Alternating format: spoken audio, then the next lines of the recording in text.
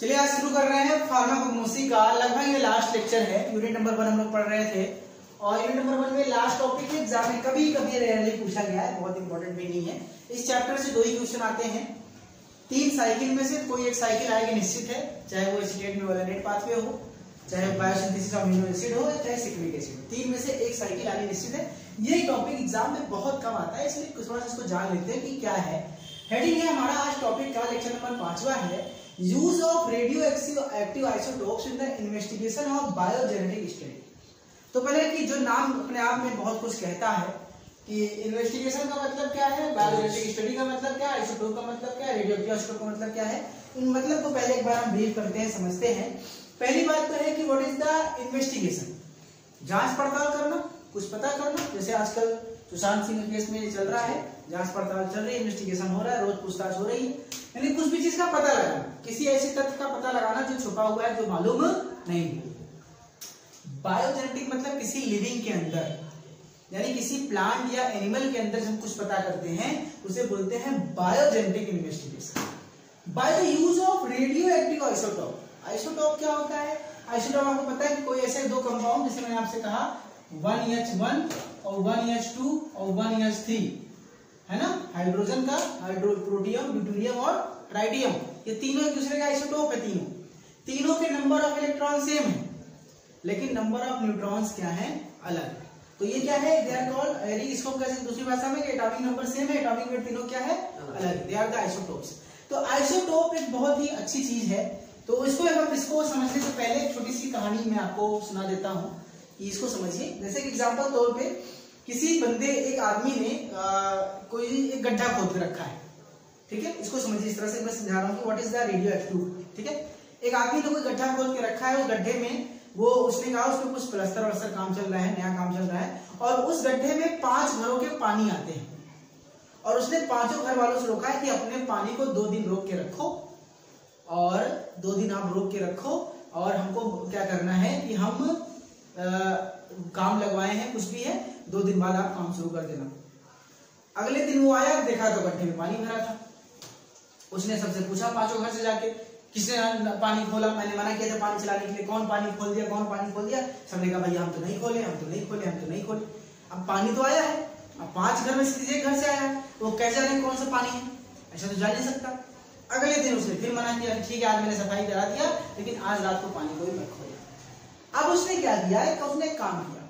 उसने पाँचों घर के जो पाइप था, जहाँ से पानी आ रहा था, पाँचों घर के पाइप में जाके कलर डाल दिया। एक के यहाँ लाल, एक के यहाँ नीला, एक के यहाँ पीला, एक के यहाँ हरा, एक के यहाँ कुछ और कलर। और अगले दिन जब किसी ने पानी खोला तो जो गड्ढे में पानी आएगा, वो वही रंग का आएगा, जो रंग कलर डाल गया था। फिर उसको पूछना ही नहीं पड़ेगा किसने पानी खोला, वो कलर देख के बता देगा कि पानी किसने खोला। कुछ क्लियर समझ में आ रहा है मतलब? इसका मतलब जो ये कलर उसने भेजा ना जिस कलर की हेल्प से उसने पता लगाया इन्वेस्टिगेशन किया, वो कलर आइसोटोप था। वो एक रेडियो एक्टिव आइसोटोप था। अब मैं ये क्यों पढ़ रहा हूँ? जैसे मैं आपको बताऊँ, जैसे हमारे जैसे हमारे एक सिंपल एग्जांपल लेता हूँ फोटोसिंथेसिस का या रिस्पायरेशन का। जैसे आपका एग्जांपल आपको पता है फोटोसिंथेसिस का। क्या होता है? CO2 प्लस H2O और क्या बनता है? C6H12O6 प्लस ऑक्सीजन ये फोटोसिंथेसिस प्रोसेस है। कार्बन डाइऑक्साइड वाटर यहाँ पे चाहे सिक्स सिक्स लगा दो और यहाँ पे सिक्स लगा दो। तो अब हमको ये पता करना है कि जो ये ऑक्सीजन निकला, ये ऑक्सीजन कार्बन डाइऑक्साइड से आया कि वाटर से आया? भाई, क्योंकि इसके पास भी ऑक्सीजन है, इसके पास भी ऑक्सीजन है। हम कैसे पता लगाएँगे कि ये जो ऑक्सीजन निकला, वो इससे निकला कि इससे निकला? समझ में आ गया? कैसे मालूम चलेगा? उसी तरह से प्लांट के अंदर कार्बोहाइड्रेट बन रहा है, कोई भी अमीनो एसिड बन रहा है, कोई भी प्रोटीन बन रहा है तो वो प्लांट के किस साइकिल से बन रहा है? एक्चुअल में किस प्रोसेस से बन रहा है, किस चीज़ से बन रहा है, ये पता लगाना थोड़ा सा कठिन काम क्योंकि किसी प्लांट बॉडी में कहाँ से देख सकते हो? तो उस समय रेडियो एक्टिव आइसोटोप हेल्प करता है। जैसे एग्ज़ाम्पल के तौर पे, यहाँ पे रेडियो एक्टिव ऑक्सीजन के आइसोटोप कौन कौन से होते हैं? ऑक्सीजन सत्रह और ऑक्सीजन अठारह। दो आइसोटोप होते हैं ऑक्सीजन के। अब हमको पता करना है कि ये ऑक्सीजन कौन सा है। तो हमने क्या किया? कार्बन डाइऑक्साइड में जो ऑक्सीजन डाला है वो ऑक्सीजन सत्रह वाला डाल दिया। और वाटर जो डाला ऑक्सीजन वो ऑक्सीजन अठारह डाल दिया। यानी ये दोनों ऑक्सीजन क्या आइसोटोप है। और जब ऑक्सीजन निकला तो हमने देखा यहाँ से कौन वाला निकला? तो क्या मालूम चल गया कहाँ से आया?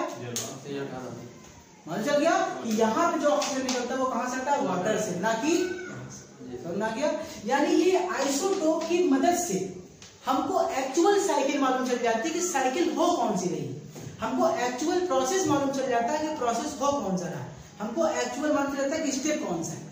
तो रेडियो एक्टिव आइसोटोप की मदद से क्या होगी ये सब रेडियो एक्टिव आइसोटोप्स है। जैसे रेडियो एक्टिव आइसोटोप्स क्या है? कार्बन है। ठीक है? ऑक्सीजन है। नाइट्रोजन है। हाइड्रोजन है। तो हाइड्रोजन का क्या?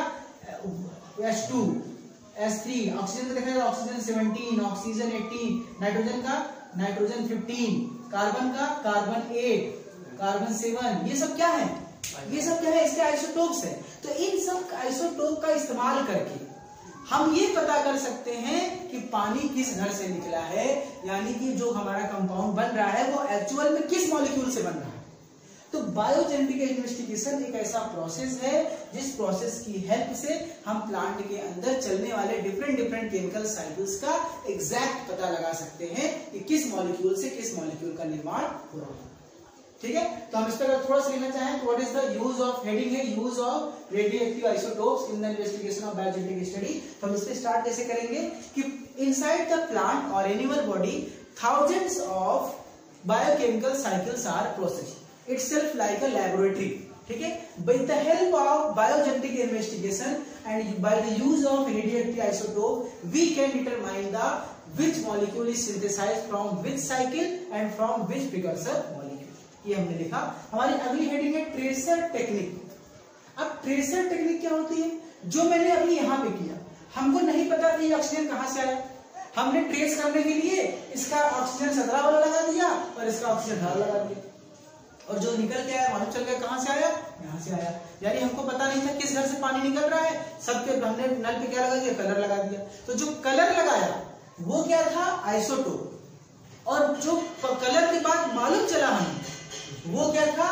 ट्रेसर टेक्निक तो उसी तरह ये जो लगा के रिज़ल्ट मालूम चला, इसे हम कहते हैं ट्रेसर तो tracer technique is a method of determination of the actual chemical cycle और बायोसिंथेटिक बायोसिंथेटिक मॉलिक्यूल ठीक है? By the use of radioisotope अब रेडियो आइसोटोप क्या होता है आपको पता है? जिसके अंदर रेडिएशंस निकलते हैं आइसोटोप क्या होता है? Isotope those molecules which have same number of electrons but different number of protons and neutrons उसे क्या बोलते हैं? आइसोटोप और इसी मॉलिक्यूल जो मार्किंग करते हैं, इसी को रेडियो एक्टिव लेबलिंग कहते हैं। देखो, यहाँ पे हमने मार्क कर दिया यहाँ मार्क कर दिया।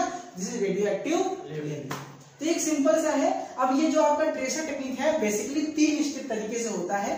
वो तीन तरीका कौन कौन सा? यूज़ ऑफ़ आइसोलेटेड ऑर्गेन्स दूसरा है बाई ग्राफ्टिंग मेथड एंड तीसरा है by use of mutant straight ये तीनों मेथड थोड़ा सा थियोरेटिकल पोर्सन है तो बोर्ड पे बहुत समय नहीं खराब करूँगा तो इसी वीडियो के आगे वाले पार्ट में मैं आपको इन तीनों का स्लाइड शेयर करते रहा, या किसी स्लाइड्स बना के, या फिर पीपीटी बना के, या पीडीएफ बना के मैं आपको इस लेक्चर को कंटिन्यू करूँगा। इसके साथ इसको पढ़ा करके ये तीन टॉपिक पढ़ लेंगे और ये हमारा यूनिट क्या हो जाएगा? खत्म। हम नेक्स्ट लेक्चर में यूनिट नंबर टू स्टार्ट करेंगे थैंक यू सो। मच तो बोर्ड पे इतना ज़्यादा थ्योरी लिखना और समझाना आसान नहीं होता है। तो चलिए स्टार्ट करता हूँ अपने बनाए हुए नोट से। अब आपको बताता हूँ कि आगे का टॉपिक कैसे पढ़ेंगे। तो हमारा हेडिंग क्या था? Use of radioactive isotopes in the investigation of biogenetic study जो कि मैंने आपको समझाया था। ये नोट्स पे आपके सामने है कि जो प्लांट होता है, एक लेबोरेटरी की तरह होता है, इस पर ढेर सारे केमिकल रिएक्शन हमेशा चलते रहते हैं। ढेर सारी साइकिल्स हमेशा चलती रहती है और ढेर सारे प्राइमरी और सेकेंडरी मेटाबोलाइट बनते रहते हैं। तो कौन सा मेटाबोलाइट बन रहा है, कैसे बन रहा है, उसी प्रोसेस को चेक करने को कहते हैं ट्रेसर टेक्निक या बायोजेंटिक इन्वेस्टिगेशन और ट्रेसर टेक्निक क्या है कि जब बायोजेंटिक इन्वेस्टिगेशन हम किसी रेडियो एक्टिव आइसोटोप की हेल्प से करते हैं जिसे कहते हैं ट्रेसर टेक्निक्स तो ट्रेसर टेक्निक में कौन कौन, इसको और किस नाम से जानते हैं? और जिस आइसोटोप की हेल्प से करते हैं, उस आइसोटोप को radio tracer radio active tracer या रेडियो एक्टिव लेवल भी कहा जाता है. ठीक है? तो अब बात करते हैं कि रेडियो आइसोटोप कौन कौन से होते हैं? वो होते हैं आइसोटोप्स वो होते हैं जिनके पास इलेक्ट्रॉनिक कॉन्फ़िगरेशन में सब name same number of electron हो, लेकिन न्यूट्रॉन और प्रोटॉन अलग हो। जैसे कि एग्जांपल यहाँ पे सी सेवन सी एट है ओ सेवनटीन ओ एटीन है एन फिफ्टीन है हाइड्रोजन टू हाइड्रोजन थ्री है ड्यूटीरियम ट्रिटीरियम अब हम बात करेंगे जो ट्रेसर टेक्निक कितने प्रकार होते हैं? तीन होते हैं। Use of isolated organs grafting method और ये use of mutant organ system ये तो हो गया काम की बात। अब स्टार्ट करते हैं नया टॉपिक जो सही है कि जो कितने स्टेप्स होते हैं इस ट्रेसर टेक्निक जब भी हम किसी प्लांट में इन्वेस्टिगेशन करते हैं तो कैसे? देखिए क्या करेंगे सबसे पहला काम क्या होगा कि हम रेडियो एक्टिव आइसोटोप को पहचानेंगे कि किसकी हेल्प से हमें काम करना है, उसको पहचानना। दूसरा स्टेप क्या होगा कि उस रेडियो एक्टिव आइसोटोप को अपने प्लांट के बॉडी के अंदर इंसर्ट करना। और तीसरा स्टेप है कि मेटाबॉलिक साइकिल पूरा होने के बाद उसकी क्वांटिटी को पता करना, कितनी क्वांटिटी में कहाँ से मिल रहा है। ये तीन टेक्निक स्टेप्स होते हैं। देखिए, पहला स्टेप है रेडियो लेबल्ड कंपाउंड प्रिपरेशन सबसे पहले रेडियो लेबल कंपाउंड को प्रिपरेशन करेंगे। दूसरा है introduction of labelled compound into a biological system अब क्या करेंगे? जो लेबल्ड कंपाउंड है, उसको हम प्लांट के अंदर बायोलॉजिकल सिस्टम में इंसर्ट करेंगे। और तीसरा स्टेप है सेपरेशन एंड डिटर्मिनेशन जो लेबल कंपाउंड था, उसको अलग करेंगे और डिटरमाइन करेंगे कि कितना फ्रैक्शन यानी various fractional biochemical fraction at later time बाद में हम पता करेंगे कितने फ्रैक्शन में, कितनी क्वांटिटी में वो प्रोड्यूस हो रहा है। तो ये तीन स्टेप है। तो चलिए पहले स्टेप थोड़ा डिटेल पढ़ लेते हैं। तो पहला स्टेप है स्टेप है रेडियो लेबल कंपाउंड प्रिपरेशन देखिए क्या होता है, आपको देखिए सबसे पहले जो रेडियो एक्टिव कंपाउंड होता है उस पर जैसे बेसिकली कार्बन है या हाइड्रोजन है, उसको हम लोग यूज़ करते हैं। और सी फोर्टीन को पहले बनाते हैं। रेडियो एक्टिव आइसोटोप को पहले बनाया जाता है। तो कैसे बनते हैं? दो टेक्निक है। पहला वो नाइट्रोजन में अगर हम बम्बार्डिंग कर दें एलमोनियम और बेरिलियम न्यूक्लियस को लेकर के तो एन फोर्टीन से हम उसको बना सकते हैं सी फोर्टीन और दूसरा है कि हमारा एलगी होता है क्लोरेला उस क्लोरेला के अंदर हम जो कार्बन डाइऑक्साइड वो लेता है इनटेक करता है, वो कार्बन डाइऑक्साइड हम उसको सी फोर्टीन वाला दे दें। तो उससे भी हम कार्बन डाइऑक्साइड क्या कर सकते हैं? उससे कार्बन को प्राप्त कर सकते हैं। ये दो हो गए। अब दूसरा स्टेप है कि introduction of radioactive labelled compound अब जो बन गया है आइसोटोप उसको प्लांट के बॉडी में डालना कैसे है? ठीक है? तो अब उसको डालने के लिए क्या होता है कि before introducing the radioactive isotope following points consider देखिए, हमको सबसे पहले एक चीज़ ध्यान देनी है डालने से पहले। तीन चीज़ ध्यान देनी। पहला स्पेसिफिक साइट एंड पार्ट यानी प्लांट के किस साइट पे, किस पार्ट पे हमको इंट्रोड्यूस करना है, पहले इसको पता लगाना है। पहला चीज़। दूसरा, कितना, किस टाइम में इंट्रोड्यूस करना है है ना? किस टाइम पे टेम्परेचर क्या हो ह्यूमिडिटी क्या हो क्लाइमेट कंडीशन क्या हो, किस टाइम पे करना है? और तीसरा, कितना मिनिमम क्वांटिटी हमको इंट्रोड्यूस करना है। ये तीन चीज़ को पहले ही कंसीडर किया जाएगा। और उसके बाद अलग अलग मेथड है। उस मेथड से हम लोग कर सकते हैं, जैसे कि पहला है रूट फीडिंग मेथड यानी उसमें हम किसके द्वारा देंगे? रूट के द्वारा इंसर्ट करेंगे। दूसरा स्टेम फीडिंग मेथड स्टेम द्वारा इंसर्ट करेंगे। ठीक है डायरेक्ट इन्फेक्शन में क्या है इंट्रैक्शन में कि हम जो डायरेक्ट जिस पार्ट में डालना है, वहाँ पे इंसर्ट कर देंगे।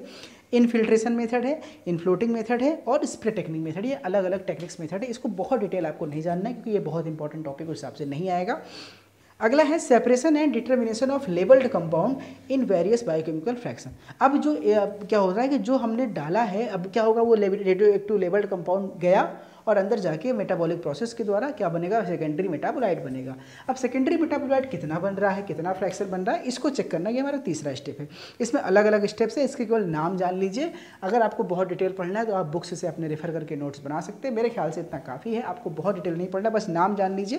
जैसे कि गीगर मुलर काउंटर मेथड है, जो कि आपने पढ़ा है इससे पहले। लिक्विड सेंटिलेशन काउंटर है गैस आइनेशन चैम्बर है बेंसन बेलेंटिन चैम्बर है मास स्पेक्ट्रोस्कोपी है एनएमआर है और ऑटो रेडियोग्राफी ये सब अलग अलग मेथड है जिसके द्वारा हम लोग पता करते हैं। तो जी रहा फ्रेंड्स ये रहा आपका पूरा का पूरा।